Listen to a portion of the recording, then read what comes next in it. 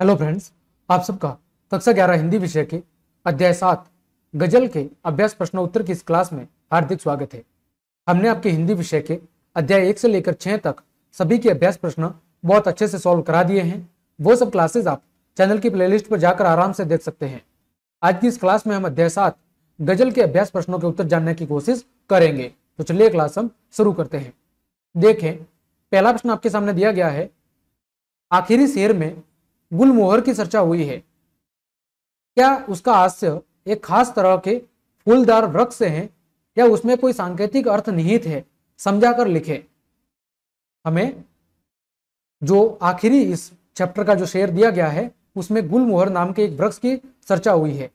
तो क्या यहाँ पर उसका आशय एक खास तरह के फूलदार वृक्ष से है, या फिर उसमें कोई सांकेतिक अर्थ छिपा हुआ है, वो हमें समझाकर लिखना है। तो देखिए इसका उत्तर क्या होगा? गुलमोहर एक फूलदार वृक्ष है और यह शांति प्रदान करने वाला होता है। कवि ने इस शब्द का यहाँ विशेष अर्थ के लिए प्रयोग किया है। मनुष्य अपने घर में शांति व मानवीय गुणों से युक्त होकर रहता है। कवि ने यहाँ पर गुलमोहर जो शब्द है, उसका एक विशेष अर्थ में प्रयोग किया है। कवि कह रहा है कि जो मनुष्य है, वो अपने घर में शांति और मानवीय गुणों से युक्त होकर रहता है। यदि उसे बाहर रहना पड़े तो भी वह शांति व मानवीय गुणों को ही बनाकर रखे। इससे समाज की व्यवस्था भी बनी रहेगी और अराजकता की स्थिति भी उत्पन्न नहीं होगी।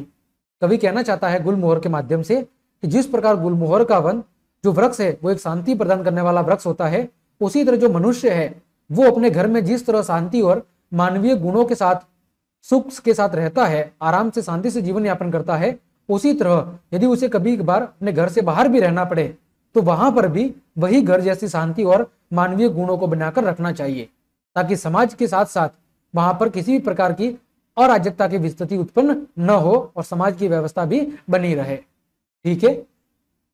आगे बढ़ते हैं।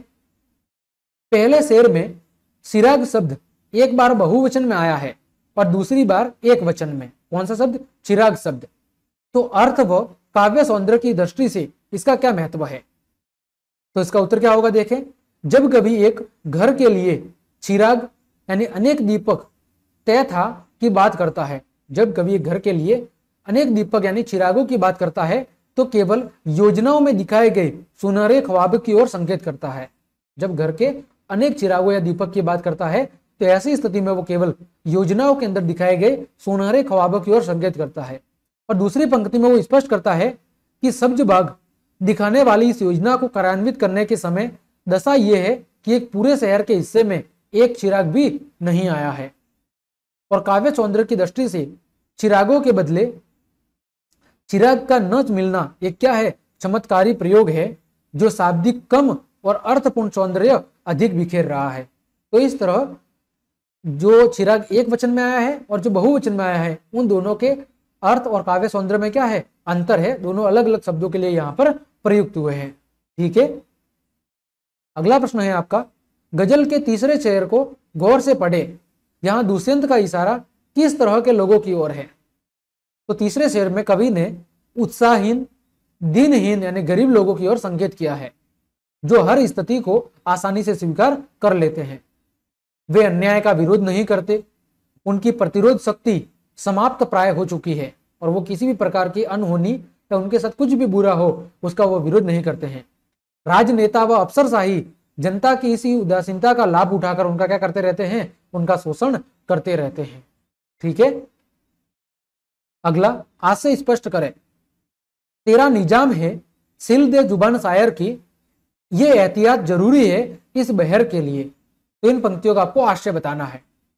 तो कवि दुष्यंत ने वर्तमान शासन व्यवस्था के चलते बुद्धिजीवी वर्ग की भयभीत व्यवस्था पर क्या करा है? प्रकाश डाला है।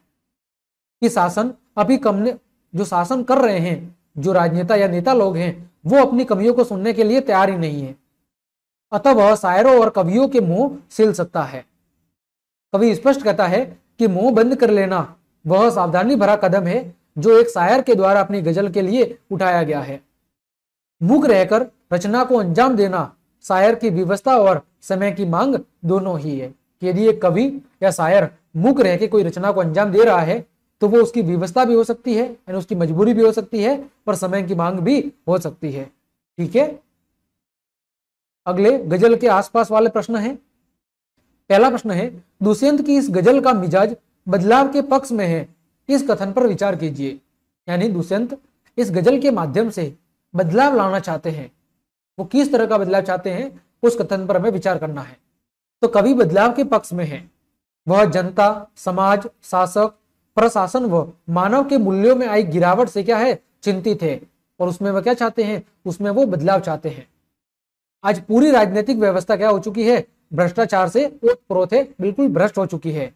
और जो आम व्यक्ति है, वो बिल्कुल निराश हो चुका है। तथा यथाशक्ति रहने का आदि बन चुका है और वो मान चुका है कि अब कुछ भी बदलने वाला नहीं है, ये सब ऐसे ही चलते रहने वाला है। कवि अपनी आवाज़ से लोगों को जागरूक कर रहा है, सत्ता उसे कुचलना चाहती है। अतः कवि क्रांति की क्या रखता है? कवि क्रांति की इच्छा रखता है। ठीक है, यानी कवि बदलाव लाना चाहता है। अगला, हमको मालूम है कि जन्नत की हकीकत, लेकिन दिल के खुश रखने को गालिब ये ख्याल अच्छा है। दुष्यंत की गज़ल का चौथा शेर पढ़े और बताया कि गालिब के उपयुक्त शेर से वह किस तरह जुड़ता है। तो इन पंक्तियों के माध्यम से कवि क्या कहना चाहता है? खुदा नहीं, न सही, आदमी का ख्वाब सही, कोई हसीन नज़ारा तो है नज़र के लिए।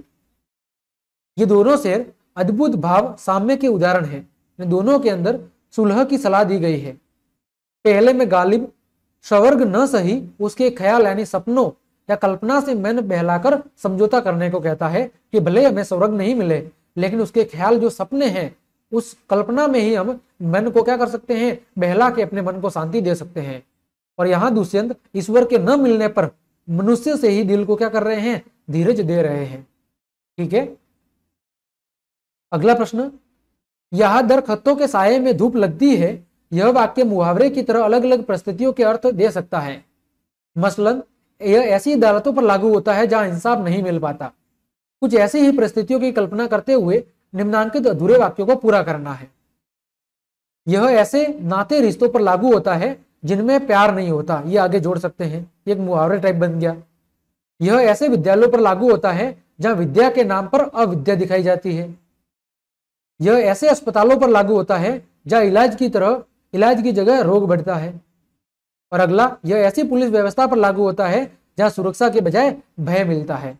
तो इस तरह इन कथनों को आप एक मुहावरे के अर्थ में प्रयुक्त करके पूरा कर सकते हैं। ठीक है? तो इस प्रकार हमने आपके अध्याय सात के अभ्यास के जितने भी प्रश्न थे, उन सभी प्रश्नों के उत्तर बहुत अच्छे से जान लिए हैं। उम्मीद करता हूँ सभी प्रश्नों के उत्तर आपको अच्छे समझ में आए होंगे।